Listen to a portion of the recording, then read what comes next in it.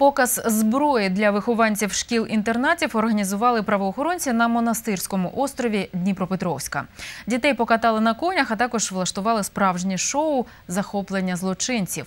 Все для популяризації професії міліціонера серед молоді. Подробиці від наших колег.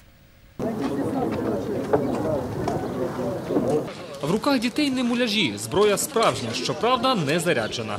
Тут все від пістолетів до автоматів, від правоохоронців майстер-класи. Приміром, як швидко зібрати пістолет Макарова. Мені дуже подобається дивитись на зброю. Хотів би дізнатися більше про будні правоохоронців.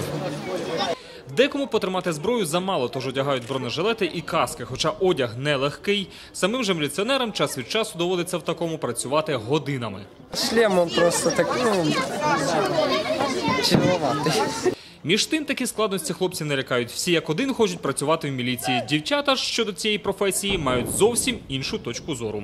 Я считаю, как бы профессия это не женская милиция, хотя многие женщины работают, но мне нравится. Такі показові навчання правоохоронці влаштували для сотні вихованців кількох дитбудинків та реабілітаційних закладів Дніпропетровська. Міліціонери хочуть зробити їх регулярними, адже сьогодні не всі бажаючі змогли приїхати. Это популяризация э, прохождения службы в органах внутренних дел. То есть показать, чем э, дышит милиция, чем она занимается. І вже менш ніж за місяць правоохоронці влаштують чемпіонат з футболу серед вихованців дитбудинків Дніпропетровська. Олександр Тушенко, Сергій Гончар. Новини 11 каналу.